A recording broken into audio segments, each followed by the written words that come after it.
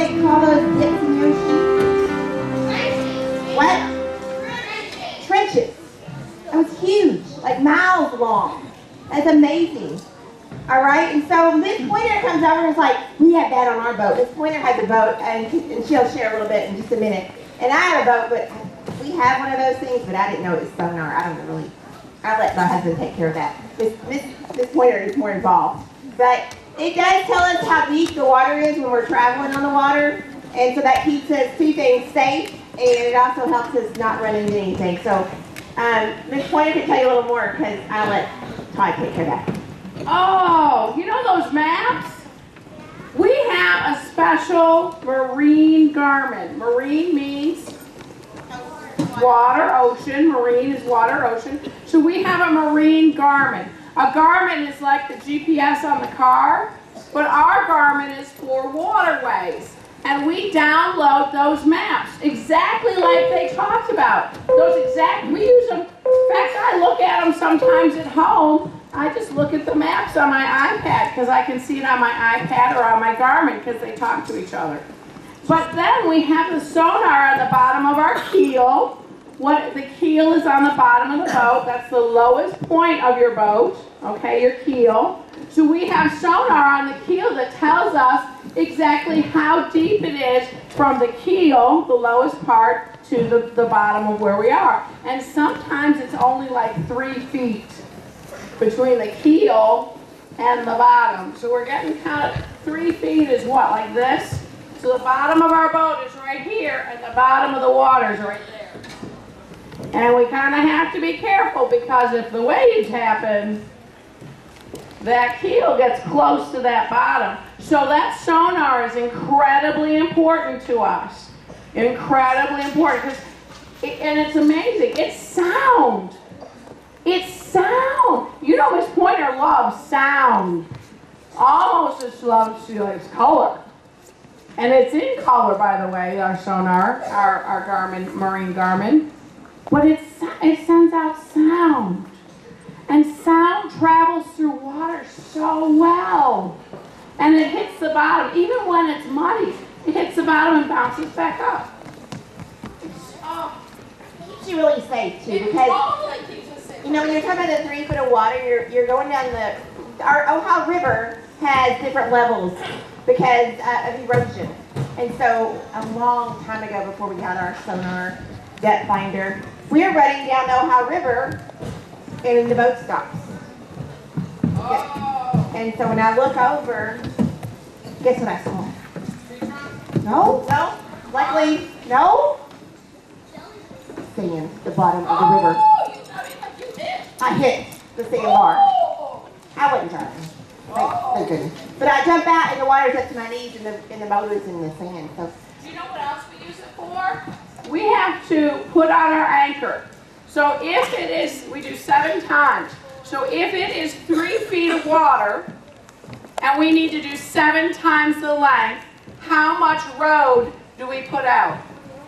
21 feet. So we set our anchor, and we back it up, so that we, rode is the, the, it's not a rope, it's a rode. Rode is what is attached from your boat to your anchor. That's called a rode.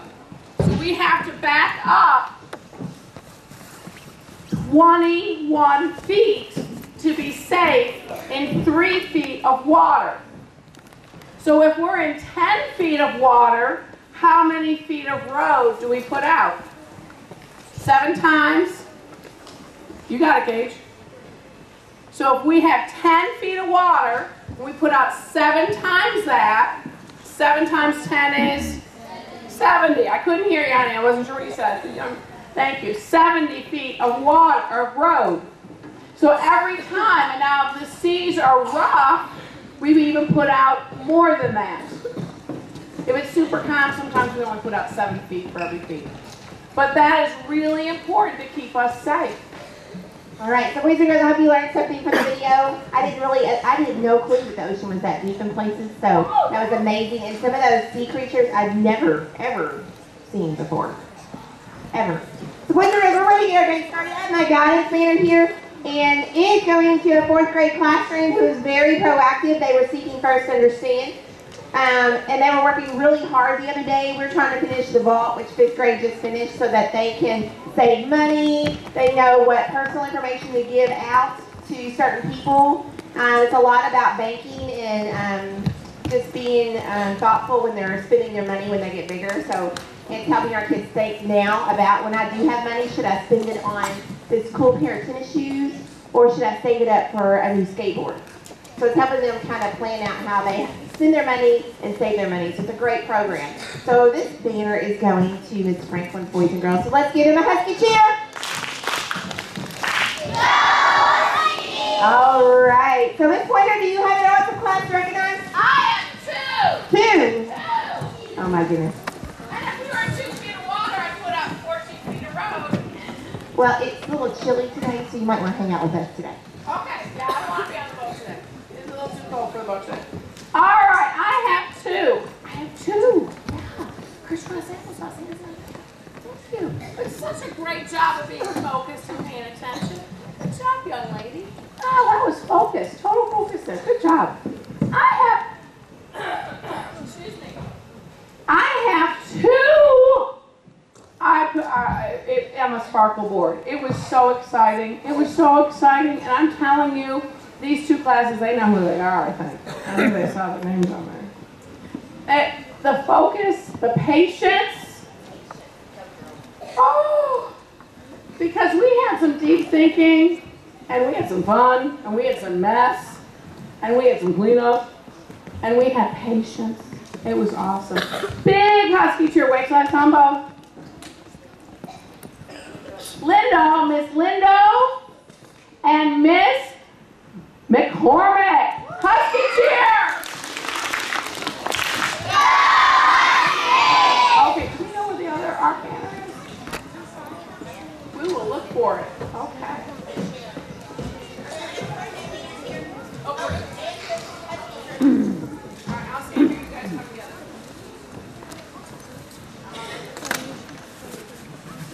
You have some birthdays when you hear your name, come get a birthday gift. So, Ashley, Charlotte Vaughn, Emma Gregory, Hayden Johnson, Claire, Lo- Claire Jack- Jackson Mayfield, Braden McBride, Hayden Phillips. On the count of three, say happy birthday.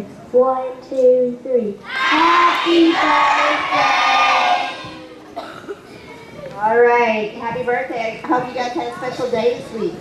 We are working on the word patient, and so I am seeing that quite often in the classrooms, and you guys are doing a great job. I really think patience is one of the hardest words we've had yet. Because like right now, you're having to use your patience to sit here and be great listeners, and some of you all have been here for 40 minutes. So that's a really long time to sit, listen, be still, study, read. It's a long time to be sitting in here in the gym.